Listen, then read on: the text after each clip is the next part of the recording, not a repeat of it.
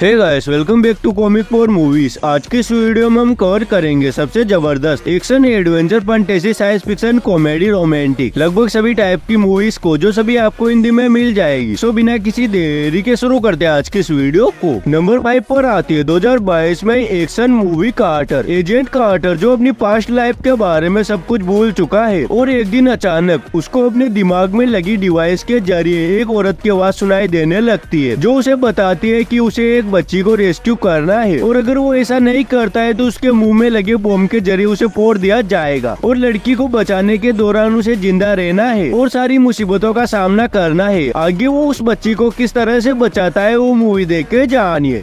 इसे M D B पर 5.1 out of ten की रेटिंग मिली है।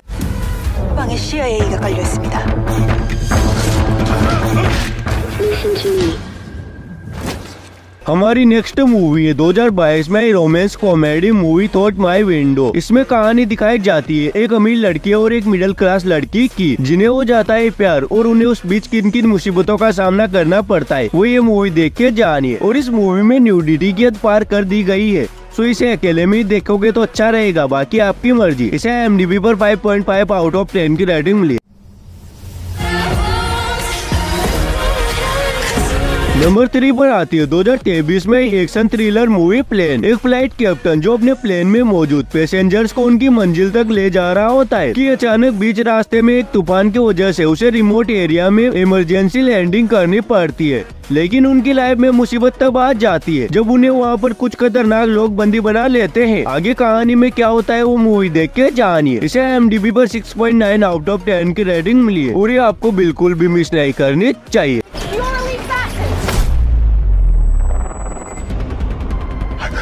see that.